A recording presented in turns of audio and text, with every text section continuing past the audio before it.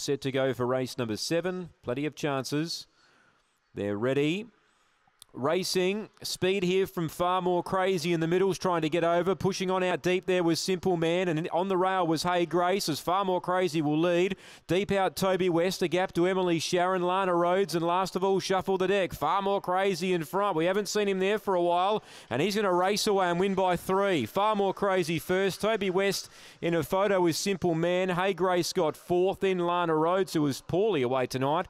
Then Shuffle the Deck and Emily Sharon last in. Far More Crazy, number five. Yeah, he was um, the greyhound in the race that if he got the right run over early, he'd be hard to beat. He um, had been knocking on the door his last couple. And tonight, he was able to show a lot more speed than what he normally has in the past. And once he got over to the rail, they weren't going to beat him. Number five, he looked a good chance at a good price. Five, the winner. Four is second eight third, one fourth. Five four eight one. The time nineteen seventy six, and it's five four eight one.